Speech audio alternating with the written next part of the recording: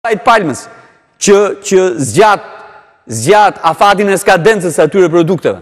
E që natyrisht frenon prodhimin edhe frenon prodhimin, frenon grumbullimin e kështu me radhë. Pra, jemi përplasur për gjëra themelore dhe parimore, që kishin të bënin drejtpërdrejt me njerëzit.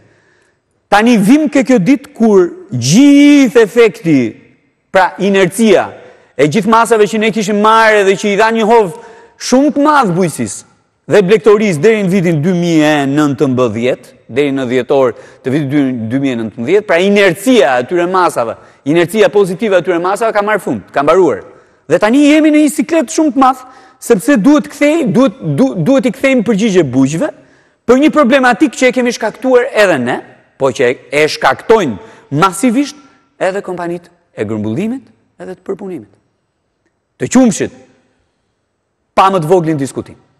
Të qumshit pa më të voglin diskutim. Ndërkohë që duhet t'i japim një përgjigje shumë qartë informalitetit.